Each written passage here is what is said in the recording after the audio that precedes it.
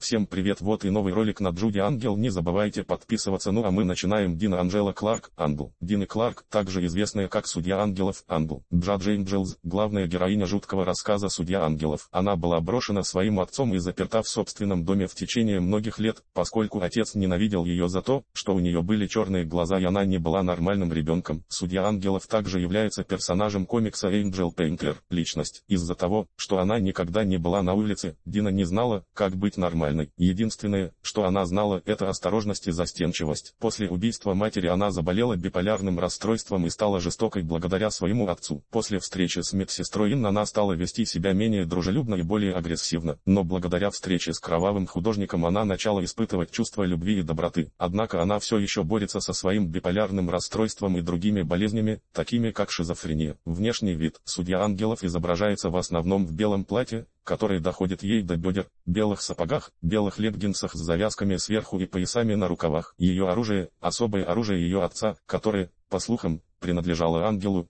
Поэтому Дина называет свой меч ангельским мечом. История. С самого рождения Дины отец ненавидел и презирал ее. Это было потому, что она совсем не походила на своих родителей, и у нее были черные глаза. Когда она родилась, отец решил изолировать ее от внешнего мира, чтобы никто не знал, что Дина, его ребенок и вообще жива. Когда ей было 15 лет, Дина захотела выйти на улицу, как другие, она всегда мечтала об этом, но была заперта в доме, поэтому знала, что в таком положении ее мечта никогда не исполнится. Дина приходила в комнату, где ее отец хранил длинный меч, который, по слухам, принадлежал ангелу, уронившему меч во время войны, и меч упал на землю, но передавался из поколения в поколение, и в итоге попал к отцу Дины. Дина очень любила меч, хотела, чтобы он принадлежал ей, и всегда думала, что он принадлежит ей и что меч выбрал ее. Поэтому Дина предложила матери сбежать, так как они обе были несчастны в доме, и ее мать и Дина решили в канун Рождества тайно сбежать. Перед побегом Дина тайком купила кулон, который собиралась подарить матери, когда они сбегут. Однако мистер Кларк узнал об этом, когда люди сообщили, что видели, как Дина заходила в магазин и входила в дом,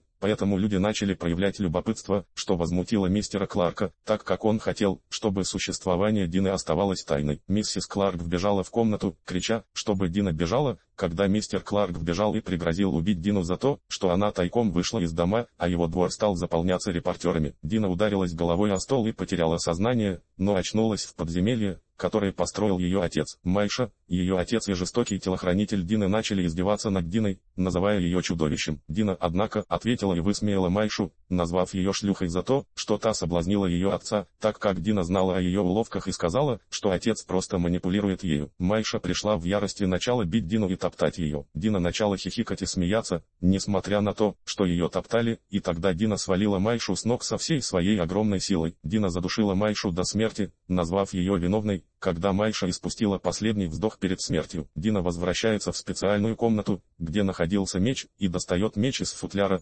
планируя сбежать, как только найдет свою мать. Дина поднялась в кабинет отца и нашла свою мать. Однако ее мать была мертва от удара ножом, а ее мать была вся в синяках и ранах. Дина разрыдалась и обняла труп матери, когда увидела отражение на своем мече человека, направляющегося к ней, Дина развернулась и ударила человека, который оказался ее отцом. Дина отрубает своему отцу ногу, от чего тот сразу же вскрикивает в агонии и не может подняться. Дина смеется и безумно хихикает, шепча и бессвязно рассказывая о том, что она ангел и судья для всех людей. Дина несколько раз ударяет отца ножом в живот и вскоре, перед тем как отрубить ему голову, говорит «Я объявляю тебя виновным». Дина переодевается в новый наряд и кладет труп матери в чемодан, обещая найти красивое место место для ее захоронения. Дина оставляет особняк в огне и улыбается, после чего отправляется в лес и вскоре продолжает убивать людей, которых считает виновными. Интересные факты. Она встречается с мужчиной по имени Кровавый художник, один из ее самых известных врагов, медсестра Н. Она страдает биполярным расстройством, а также шизофренией. Она родилась с черными глазами и на самом деле обладает вдвое лучшим человеческим зрением. Всем спасибо за просмотр, всем пока.